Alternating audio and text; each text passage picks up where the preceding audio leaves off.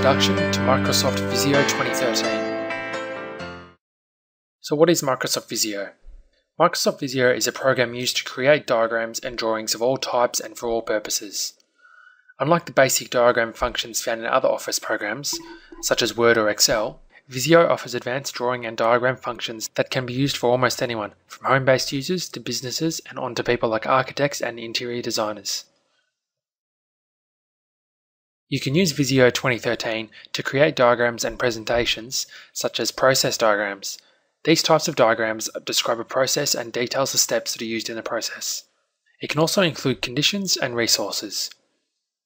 Processes could be accounting procedures, customer service procedures, or even the development phase of a new product. Engineering drawings, to represent a mechanical or electrical part, or engineering diagrams that are schematic representations of the system.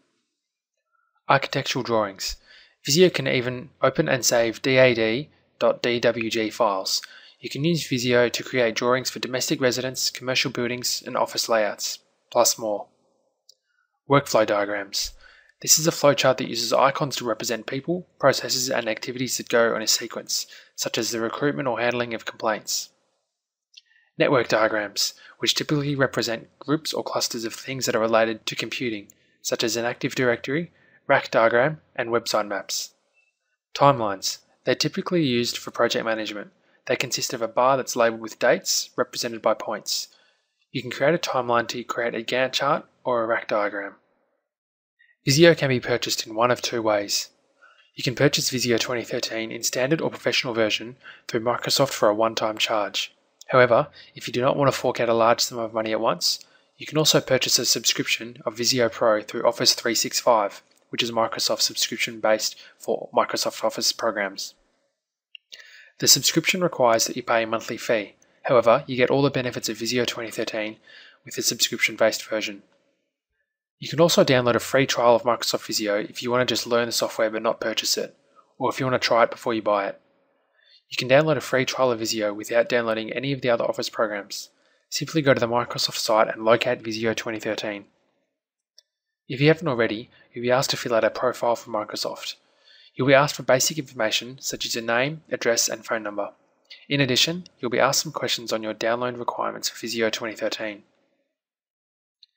Because downloading Microsoft Visio is not always as simple as it seems, we're going to go through the steps that you need to do to download it. We can start the process for downloading Visio by going to the Visio Professional 2013 download page. The URL is shown at the top of the screen here. But if you can't memorize something like that, you can just type in download Visio 2013 into Google and this is one of the top few results. To start, click on try. When this page loads, click on get started now. It will then ask you to sign into your Microsoft account. Put in your details and click sign in.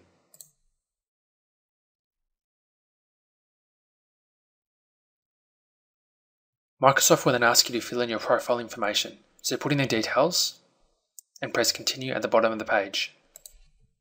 However, before clicking continue, you should take note of this box here that asks what version of the software that you'd like to download. It offers you 32-bit or 64-bit or other.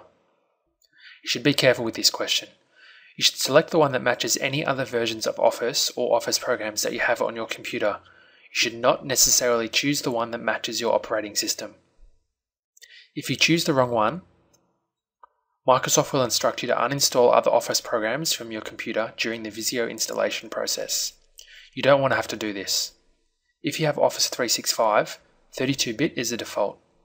Unless you specified 64-bit during your setup and installation of Office, you have 32-bit. This means you'll need to choose 32-bit for Visio.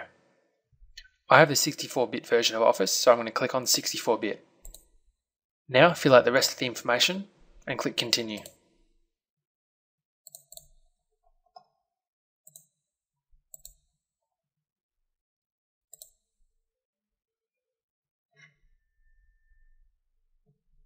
Once you finish your profile information, Microsoft will provide you with a product key to use for your free trial. The page will look like this. Make sure you either print this page or write down the product key.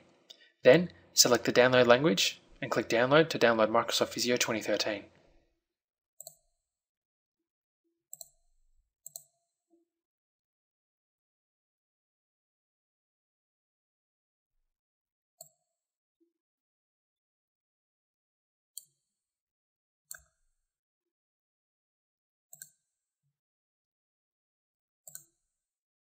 The Microsoft website might ask you to download the file using a separate installer.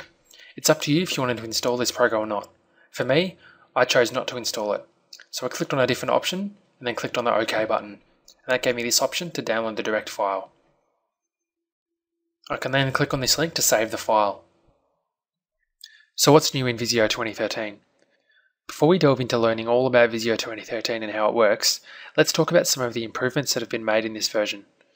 This section of the lesson is specifically for those of you who've used prior versions and are anxiously waiting to learn what changes have been made. Improvements to templates. You'll notice that several of the diagram templates have been improved. The improvement affects the timeline, basic network, detailed network, and basic shape templates. New shapes and callouts. You'll also find new shapes, callouts, and containers. Organization chart updates. The template for the organization chart has new shapes and styles. In addition, they've made it easy to add pictures to employee shapes all at once. SharePoint Workflow Template. This template supports stages, loops, and steps, as well as custom actions.